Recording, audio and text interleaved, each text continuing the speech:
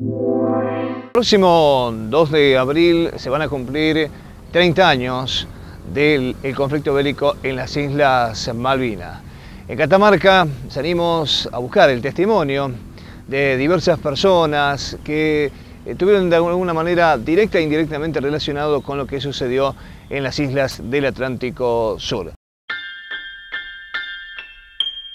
Diario Diario. Ah, fue un día muy triste. Yo como canillita me entristece mucho de, saber la noticia por, el medio que en ese tiempo eh, se vendía un solo diario acá en Catamarca, que fue el diario La Unión. Me entristeció mucho como argentino por lo que estaba pasando en las Malvinas con nuestros compatriotas.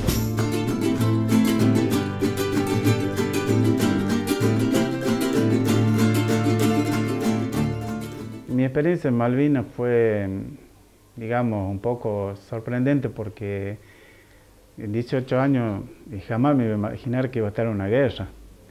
Y bueno, al principio fue todo como una fábula para nosotros. Entonces, lamentablemente estábamos desinformados, o sea, nos estaban, digamos, engañando acá, digamos, un poco la prensa en este tiempo, ¿no?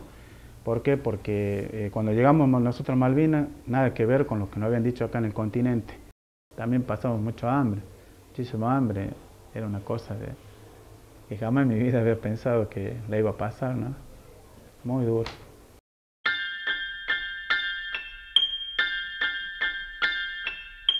Bueno, mi vida era normal, pero después del 2 de abril nos enteramos de que la Argentina había recuperado las islas y bueno, y nos alegramos mucho de este suceso.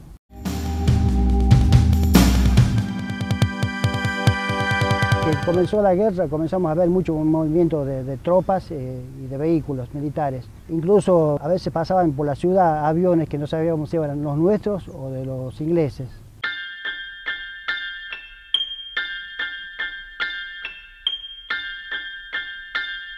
Esta carta eh, la recibí de casualidad, digamos, porque en ese momento estaban repartiendo algo para comer y vino eh, dentro de un budín.